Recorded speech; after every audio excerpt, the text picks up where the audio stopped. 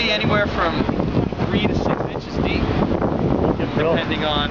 I mean, they burrow in a little bit. They they don't have mobility like scallops or fish or anything, but they can use the tongue to move the sand a little bit to drop it a little deeper in case of a storm coming up. If they can escape it, they will. You know, Well, what kind of depths are you talking? About? a few inches in the No, dirt. Water depths. Oh, uh, as deep as 150 feet. But if you have a hurricane going by, it, it'll move water. Not that deep. oh yeah, it will. It will. They sense it. It's I know, vibration or whatever. I, that I don't know, but they'll sense a lot of They're not as lucrative as scallops, though, right?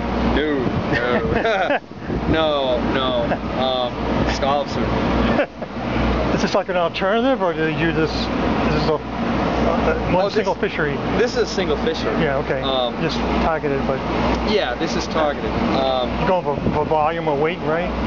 If you can. Uh, yeah, we uh, sell it by the bushel, although we offload it by the cage there. There's Oh, okay. 32 bushel per cage.